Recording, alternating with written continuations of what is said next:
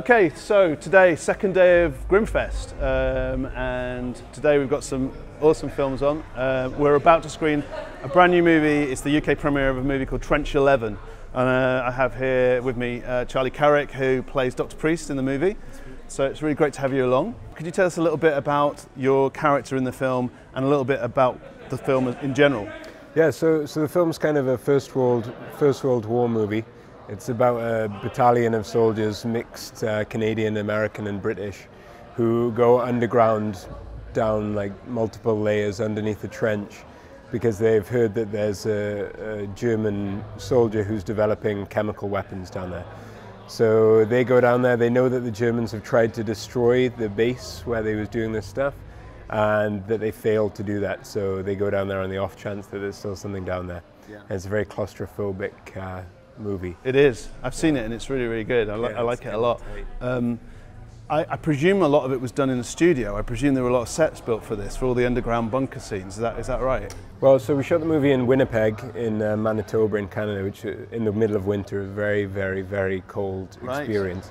But we actually started out, I mean, most of the movie, as you know, takes place in those tunnels yes. and in, in these bunkers.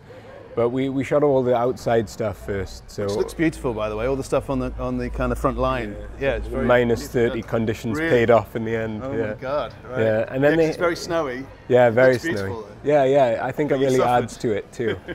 Um, and then uh, they didn't have a studio. I don't think there is a professional film studio in Winnipeg. Oh right. But they had we had like this sort of abandoned factory that had been converted into a studio. And you built the sets. they had built all the sets in there. Yeah. So yeah, it was. Uh, it, it, was really cool to look at. It was very immersive being in those sets. It was very more so than I think if we had done it in a more professional studio. There yeah. was something a bit creepy and cold and dirty about the, the studio, the, so the work. Can I ask you two quick questions? One about the other members of the cast. It's a great cast. Um, could you tell me a little bit about what it was like to work with the other actors and also with the director Leo? Leo, Sh- Leo Scherman is the director. Yeah, is it yeah. is it his first feature or has he made other features? No, I think it's his second or his third. Okay. I think it's his second or his third, but I think, and he'll probably correct me on this, this is the first one that he's written. He has right. a writing partner called Matt. Um, and they wrote this together. I know this was really close to their hearts. This they've been working on it for a long time uh, with the producer Tyler Levine. Um, and yeah, I think they assembled a really good cast, and I think that's kind of what you know, I've never done a horror movie before or like a genre movie, and I'm always a bit wary of them. I, I, I don't know why. I just think I, and this is a preconceived notion that's probably wrong, is that the character stuff gets put to the back in them. And I don't think that's the case in this movie or in any good horror movie. Absolutely. I think this is a very character-based movie, which yeah. really, I think you identify with the characters in it and the situation they're in, which I think is vital for any movie, whether it's a horror film or, or any other genre. Yeah. Um, but also, I, I, I uh, there's some some really gruesome and really clever special effects in this movie, mm-hmm. and I think by the looks of it, a lot of them were done physically rather than kind of CGI. Yeah. I, I don't want to go into too much detail because I don't want to give too much away, but there's kind of weird oh, I don't know how to describe it, like kind of almost like worms and stuff in this thing, and yeah. they're really freaky. And these, yeah. these people with stuff coming out of their bodies. It's quite a body horror kind of movie. It reminded me of some of the stuff in like early, early Cronenberg movies, with this kind of body horror yeah. element to it. Was that kind of how was that to work with? Well, David Cronenberg's a big influence on Leo, uh, and in fact, Leo kind of sort of studied under David Cronenberg oh, really? for a long time. They're kind of, I don't know if they were family friends or something, but I know that ah, they're, they're quite close sense. to each other and uh, his films were a big influence on Leo. But yeah, a lot of that stuff was practical effects. We had this guy, I wish I could remember his name, a French Canadian guy who, once they had decided they wanted to do this all practical effects, basically everybody said there's this one guy who's got to do it for you. Right. There's only this one guy, and they said, well, he's kind of out of our range price wise, but they got this guy to do it. Um, he does all the effects for the TV show Hannibal.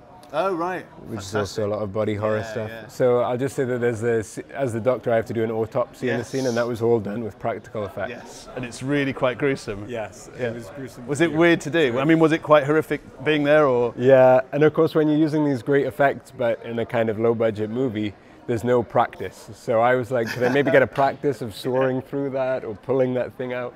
And they were like, "No, You've got to do it. We've got to do it on You've got to do it right every first time. Yeah, There's so no second takes on some of that stuff. situation, Yeah, I can imagine. Yeah. Well, listen, the movie's fantastic, and so thank, thank you very much for joining Oh, us. my pleasure. Uh, I wish it all the success after it's done its festival round. I hope it's going to get a release here in the UK. Do you, do you know if it's when it's set for? No, I don't know, but I think they were very happy to. The movie premiered in Germany as part of uh, Yes. what's it, F- Fantasy Fest.